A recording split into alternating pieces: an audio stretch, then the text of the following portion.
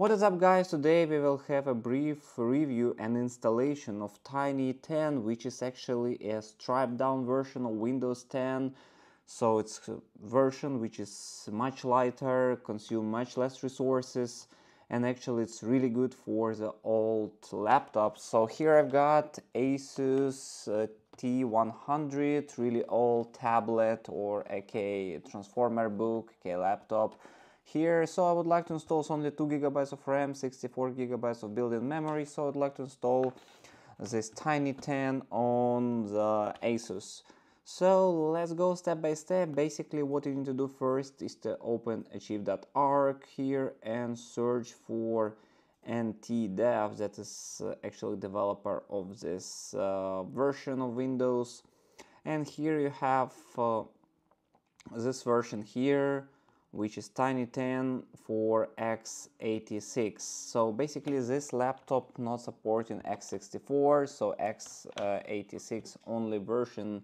But in case you have a laptop uh, that supports, that chip supports x64, so I recommend to download some other version that actually will support it.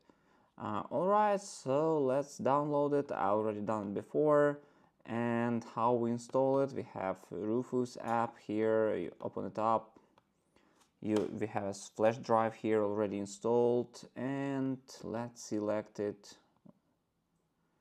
Go to here. Choose it here. Or keep it all by default. And click start here. Okay.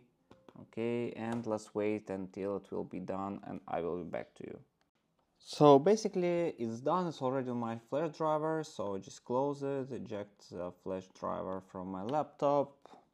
Alright guys, so let's enter the recovery mode, let's turn it off first. Oh, shut down. Then you need to hold bottom down and turn on bottom at the same time one, two. Right, so currently you can see the UEFI downloader, this Kingston Data Traveler, press on it and okay, it's fine, I hope. Let's wait until it will load. Okay, it's loading here. Uh, let's wait until it will load the installation of the Windows and then let's move on. So here we have the installation package, actually language to install. You can have only one language time and currency, keyboard, play next, install now, need to select here. Setup is starting, so basically it's like a regular uh, setup of the Windows 10, just you will get at the end not a regular Windows 10, that's the main difference, that's a tiny Windows 10.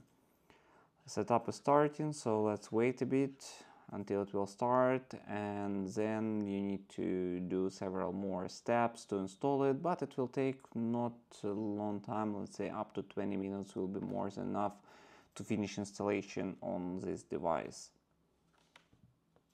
Okay so you see here uh, license accept next uh, custom install. Uh, you need to remove I don't know uh, okay you cannot select it. Let's remove all of them. One two, three. I've got four portions here. You will get again four after you will finish also removal. Remove. Then new one. Apply. Okay, so it will select four of them as well. Okay, even three. Better. Uh, let's go with prime. Primary. Next. Okay, installation started, so I will be back to you once it will be done. So it will take around 10-15 minutes, for you it will be just one second. Alright, let's move on. So actually uh, installation is done. Let's select here the region. Eh, it's not selecting. Yes, okay, working. Just a moment, let's wait. So it's just basic configuration. Then after this, uh, I think several more minutes need to wait until it will initialize. Let's keep. Just a moment. Okay, network. I don't know, I think we can skip also for now and connect it later. Uh, username. Let's select uh, admin or Asus. password skip actually it skipped uh, the connection itself to the internet because it doesn't have any sort of one cloud or any other cloud that Microsoft is uh, pushing to accept. Uh, find my device, location, diagnostic data, tailored experience, advertising ID. No, don't need it. Okay, accept. Services, actually, the latest step. Okay, now let's wait a moment. I think it's setting up.